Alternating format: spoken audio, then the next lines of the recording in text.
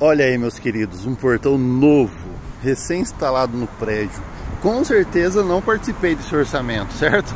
Quem é meu aluno aí, meu seguidor, já sabe que esse tipo de bracinho aqui, é, eu ensino para isso, colocar isso lá de dentro, para não acontecer essas situações. Então, ó, um portão é, pintado em epóxi, com chapa micro perfurada, um portão para alto fluxo, né? Que é um prédio aqui, ó e, com o acabamento desse aqui para de fora, né?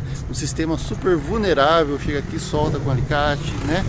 Olha ali o espaço que tem ali, a, a bucha, essas buchas ficam escorrendo sujeira. Então são detalhezinhos que a gente com certeza consegue entregar um trabalho melhor para o cliente, com o bracinho por dentro, mesmo sendo com abertura inversa, a gente consegue colocar esse bracinho por dentro, entregando um produto excepcional para o cliente, agregando valor aí nos, nos negócios. Se notar, tá até meio balançando o portão, certo? Então, assim, é cuidados na hora de produzir o portão desse, certo, meus amigos? Grande abraço, até a próxima.